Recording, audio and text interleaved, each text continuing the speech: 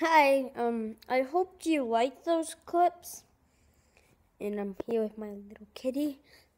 In every single video, guess what I put?